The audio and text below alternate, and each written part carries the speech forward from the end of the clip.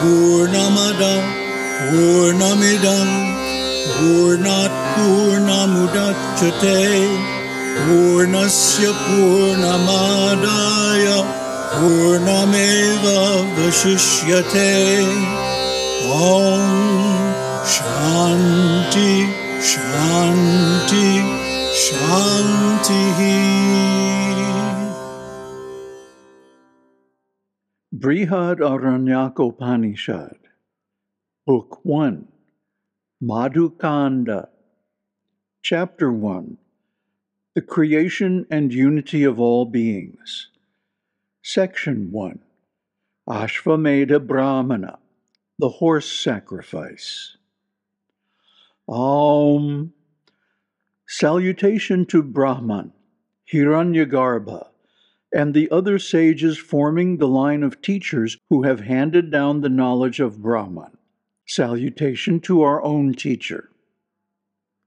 With the words, the head of the sacrificial horse is the dawn, etc., begins the Upanishad connected with the Vajasaneyi Brahmana. This concise commentary is being written on it to explain to those who wish to turn away from this relative world, samsara, the knowledge of the identity of the individual self and Brahman, which is the means of eradicating the cause of this world, ignorance. This knowledge of Brahman is called Upanishad because it entirely removes this relative world together with its cause, from those who betake themselves to this study, for the root sad, prefixed by upa and ni, means that. Books also are called Upanishads, as they have the same end in view. This Upanishad, consisting of six chapters, is called Aranyaka, as it was taught in the forest, Aranya and because of its large size, it is called Brihadaranyaka. Now we are going to describe its relation to the ceremonial portion of the Vedas. The whole of the Vedas is devoted to setting forth the means of attaining what is good and avoiding what is evil, insofar as these are not known through perception and inference, for all people naturally seek these two ends. In matters coming within the range of experience, a knowledge of the means of attaining the good and avoiding the evil ends is easily available through perception and inference. Hence, the Vedas are not to be sought for that. Now, unless a person is aware of the existence of the self in a future life, he will not be induced to attain what is good and avoid what is evil in that life. For we have the example of the materialists. Therefore, the scriptures proceed to discuss the existence of the self in a future life and the particular means of attaining the good and avoiding the evil in that life. For we see one of the Upanishads starts with the words There is a doubt among men regarding the life after death, some saying that the self exists, and others that it does not. Kathopanishad 120. And concludes it is to be realized as existing indeed. Katha 6:13, and so on. Also, beginning with how the self remains after death, Katha 5:6, it ends with some souls enter the womb to get a new body, while others are born as stationary objects, plants, etc., all according to their past work and knowledge. Katha 5 7. Elsewhere in this Upanishad, beginning with the man, self, himself, becomes the light. Sutra 439. It ends with, it is followed by knowledge, work. 442. Also, one becomes good through good work and evil through evil work. 3 to 13. Again, beginning with, I will instruct you, 2 115.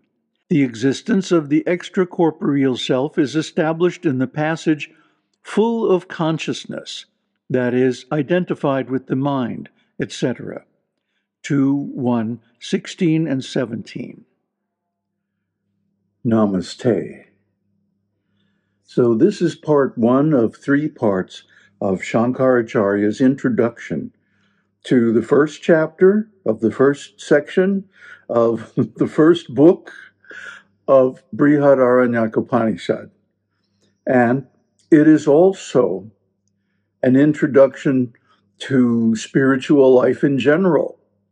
Because the first supposition or the first thing you have to accept to have authentic spiritual life is the next life, the existence of a life after death in some form or other. Even the Buddha in the original Buddha Suttas accepts that there is a next life. In fact, he asserts with great force and clarity that there is a next life and that you're going to be there to experience it. So you better take action now to optimize that next life. As Shankara says, to reduce the evil and promote the good in the next life, not necessarily this life. Now, from the outset, we are talking about things that are beyond human perception. This is a very important point. Without some faith that these things are true, even though they are not verifiable empirically, you cannot even take the first step. Because the first step is to recognize that I live beyond this body's life. The gross body is temporary, about a hundred years, more or less, and it's finished. So, if there is a life after death, it has to do with the subtle body. The gross body is made of earth, water, and fire. It's a heat machine. It burns food. It creates energy. But the subtle body is air and space, ether. This is why spiritual life can be communicated by words, because words are nothing but air and space. But they can communicate a transcendental vision, a structure, an ontology that goes beyond just the gross existence and takes into account mental phenomena, consciousness, and so forth. Trying to prove or establish or describe consciousness from a gross material point of view is a doomed effort, bound to fail, because consciousness is fundamentally transcendental. See, they have it backwards, they have it upside down. They're saying that the body is the cause of consciousness. This is the other way around. That which is higher, which is more subtle, is the cause of that which is more gross. It is always that way. What is above so below. The ancient Hermetic axiom. So, this is well established in the Upanishads, the smaller Upanishads, like Kathopanishad, which we did a series on way back when. Kato means question. And the big question is Does the soul exist after death? And now, who is the authority on that? Death itself, or Yamadev, Yamaraj, as he's sometimes called. He is death personified, and he is also Hiranyagarbha, hunger, and the false ego, the collective false ego of all the beings in the universe. So, if the gross body is limited by time, and certainly in, in many other ways as well, then we ought to be able to see some evidence of that. And of course, the evidence is that not only our body, but the whole universe is always changing. And nothing remains the same for very long. as Terence McKenna put it, nothing remains, but nothing is lost. Everything is simply transformed and recycled into different, different forms again and again. So, what is this reality then? You see, it can't be the absolute truth. It can't be the cause. It can only be an effect, a product. A product of what? Well, that's what we're talking about the subtle reality, the spiritual cause of everything, which is consciousness or manifests as consciousness. What is consciousness? First, it's the awareness that I am aware, the consciousness that I am conscious. Then, it's consciousness of things, beginning with that truth. And then, unfortunately, the tendency is for us to identify with the objects of consciousness and forget that we are actually the consciousness itself. Ever pure and self renewed in every moment, huh? like a mirror which uh, somehow cleans itself, doesn't collect any dust. Huh? We are always conscious. But that eternal consciousness becomes covered over by consciousness of the body, the senses, the mind, and so forth. And we identify with that and we think we are that. But that is subject to change and ultimately subject to death. So it cannot be a platform on which we can realize the ultimate truth or experience the ultimate enjoyment because anything that has a beginning has an end. Anything that is a product is an effect. And when the cause goes away, so does the effect. It's like a fire. When a fire goes out, what really happens is that simply the conditions that create the phenomenon called fire cease to exist. In other words, the cause goes away. The cause is the conditions that cause it, that make it happen fuel, oxygen, and heat. And with any of those three go away, the fire goes out. Well, of course, it doesn't go anywhere.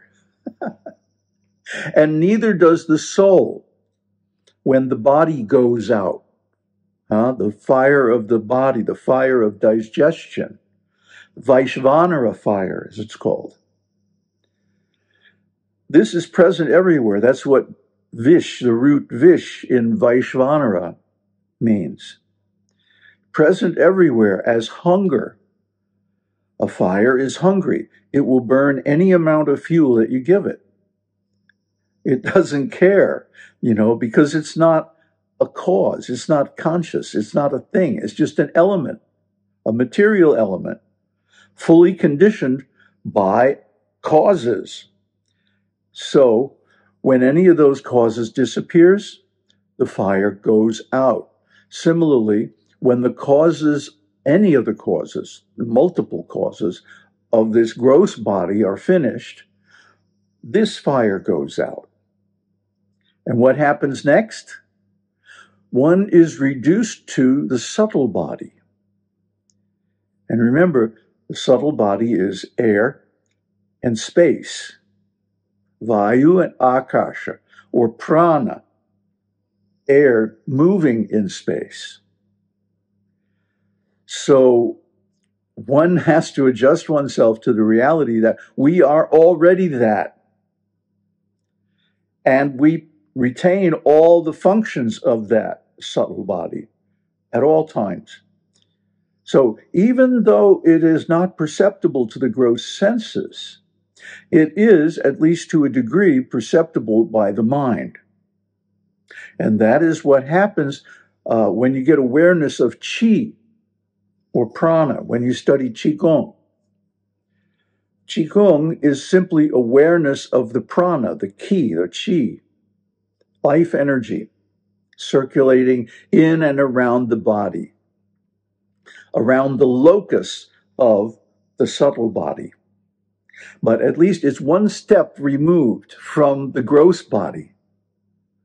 And it happens, you know, we've been talking about pratyahara, withdrawing the uh, senses from the gross body. And so what happens when you withdraw the sense of touch from the gross body, you get sensations of chi or ki or uh, life energy, vital energy, the Vaishvanara.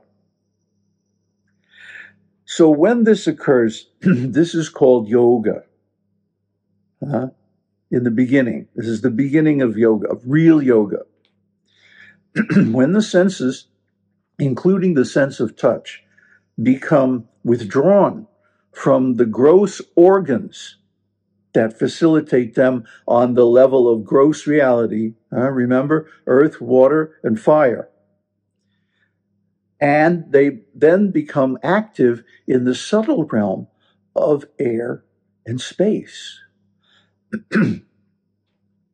so, to begin to understand the life after the death of the gross body, we can cultivate awareness of the subtle body by these different exercises. And the yoga asanas and, you know, qigong and Zen meditation and practices like that, anapanasati or vipassana, uh, these are meant to gain awareness and control of the subtle body, the pranas, the vital force. And that can help us establish faith in something even more subtle, which is the cause of everything consciousness. Because consciousness is equal to Brahman. And Brahman, on the experiential level, consciousness is the cause of everything. Without consciousness, like, there ain't nothing. so, we have to accept that consciousness, at least for us personally, is experienced as the cause of all experience. Isn't it? Similarly, when this consciousness is also withdrawn from the gross senses and directed towards the subtle senses, which always exist, they're just covered over by the gross. When that happens, you get a completely new view on life, an awakened view. And this is not yet full self realization, but it's the first step on the road. So if we're going to look for a society or a company or an assembly or an association of beings who are at least on the path towards enlightenment, we want to look for those beings who have faith in the existence of the next life and some knowledge or some techniques on how to influence it to reduce the evil and enhance the good. And that is the topic of this introduction to the Upanishad. Aum Tat Sat. Aum Shakti Aum. Om Namah Shivaya.